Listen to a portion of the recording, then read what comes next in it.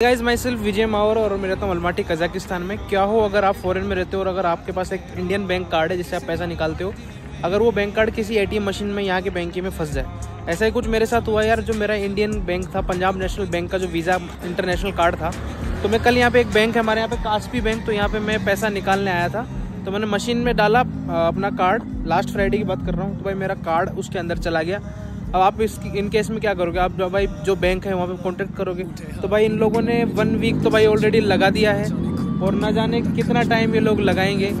अभी तो भाई ध्यान रखें, यहाँ पे दो बैंक है अलमाटी कजाकिस्तान में एक हालिक बैंक है, एक काशिफ बैंक है तो मैं आप लोगों को डिनाई करूँगा।